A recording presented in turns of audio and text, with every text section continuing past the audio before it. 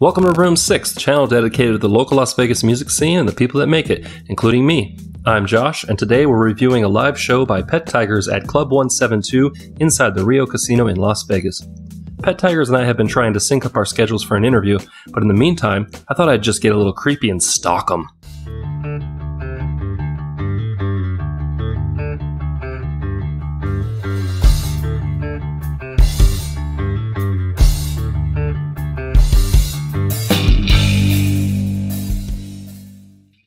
Faithful viewers of my channel may note my love of Club 172, a venue that really puts music front and center while keeping patrons happy with amazing food and carefully curated drink menus. As I said in the intro, I'm already very familiar with Pet Tigers and their members. Lizzy Minx rocks on keyboards, lead vocals, trumpet, and guitar. Angelica Santis holds down the groove on the bass, and Jeremy Keith rounds out the trio on drums, backing vocals, and even has some pretty good DJ skills. Pet Tigers shared the stage that night with another hopefully soon to be guest of the channel, Revolta. I went the same route with them by reviewing a previous show at 172. Great guys, and looking forward to interviewing them hopefully soon.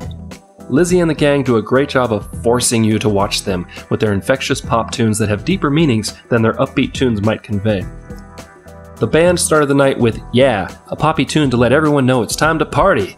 From there, they moved on to Sorry Not Sorry, a song that pretty much sums it up in the title. By this time, the crowd was feeling the vibe as the trio played Shred It.